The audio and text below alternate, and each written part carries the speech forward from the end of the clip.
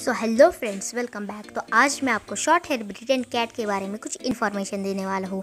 बढ़ते हैं वीडियो की तरफ़। और हाँ फ्रेंड्स अगर आप हमारे चैनल स्वयं पेट इन्फो पर नए तो ज़रूर सब्सक्राइब कीजिए और इस बेल आइकन को भी दबाइए। आपको वीडियो की नोटिफिकेशन मिलती रहे। शॉर्ट हेयर ब्रिटेन कैट एक फैमिली कैट है और उनकी हाइट 12 से लेकर 14 इंच तक होती है और उनका वेट सेवन से लेकर सेवेंटीन पाउंड तक होता है और उनका लाइफ स्पेन फिफ्टी से लेकर ट्वेंटी ईयर्स तक होता है।